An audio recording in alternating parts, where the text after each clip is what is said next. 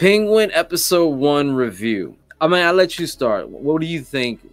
What was your what was your opinion of episode one? Like what you thought, uh, uh, what it felt like, what the show felt like it was bringing, I guess, new or exciting for you, and, and you know, then we'll get to that. I'm, uh, I'm gonna start it off with telling the truth. I'm really not a real fan of the Batman in this in this universe. Yeah, I know.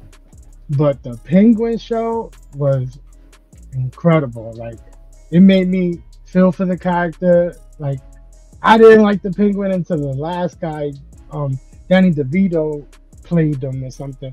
So it's yeah. like, but he did his thing. Like, like total transformation. Like, like if you didn't tell me who he was, I wouldn't have been like, nah, that's not him.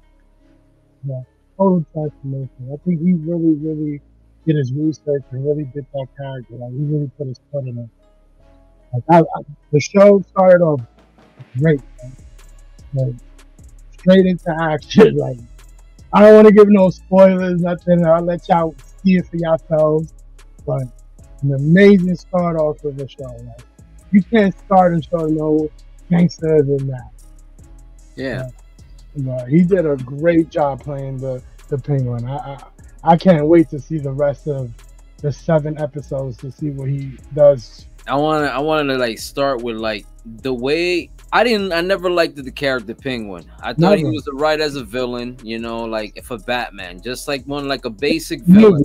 Yeah, and mm. seeing him from like the the old Adam West TV show Batman to to more recent Danny DeVito, you know, portraying as him but this penguin is like a different kind of penguin. This penguin is like is so multi-dimensional. He's unpredictable. He has like so much personality, but there's a lot going crazy and it's just like you don't know what's he about, but you know that definitely he's using everyone, manipulating and real mm-hmm. like smart with it, like real street smart with it. As far as like how he's like little by little, you can see it.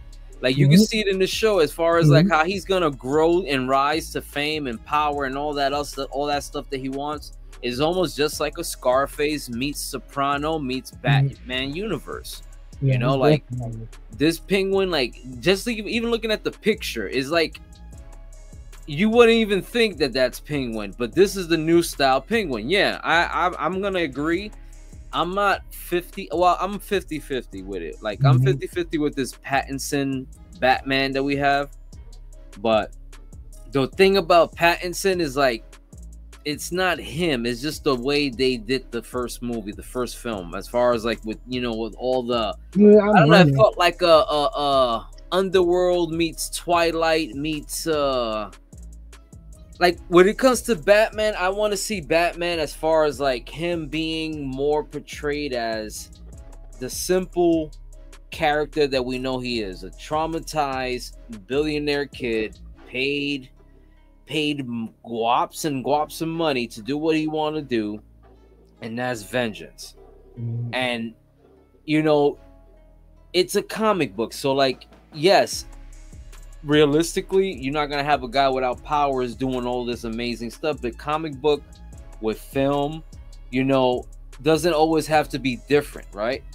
So it's like when you see this penguin, you see like a version of like they're trying to mix the realistic or or something like a mafia style realistic with the fantasy character of penguin. The same thing like with the Nolan movies, what the Nolan movies mm-hmm. did as far as like that gave us like a more realistic, more uh mm. gritty uh Batman with Heath Ledger's Joker. That was a different mm. kind of twist on that one.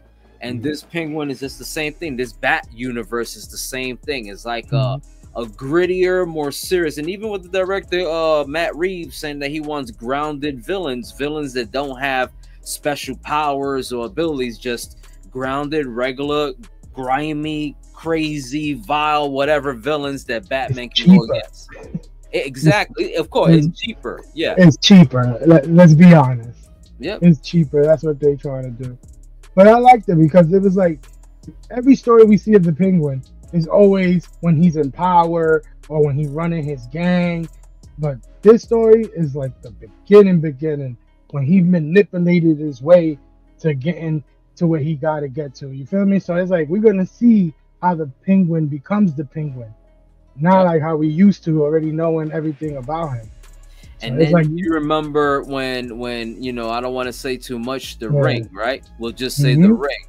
The ring, you know, that's gonna be used for another grimy uh uh uh betrayal or you want to say backstabbing mm-hmm. moment you know that he's gonna use to you know get someone else to go against the other and you know how that is like a like a whole game of thrones kind of scenario where he's using each side to like basically go at each other while he you know mm-hmm. rises to power so it's like it's very it's like I wasn't bored through the whole thing. I, like, I, and it felt like to me, it felt like a movie. It felt like mm-hmm. something like you know, if it was a movie, you know, I wouldn't mind watching.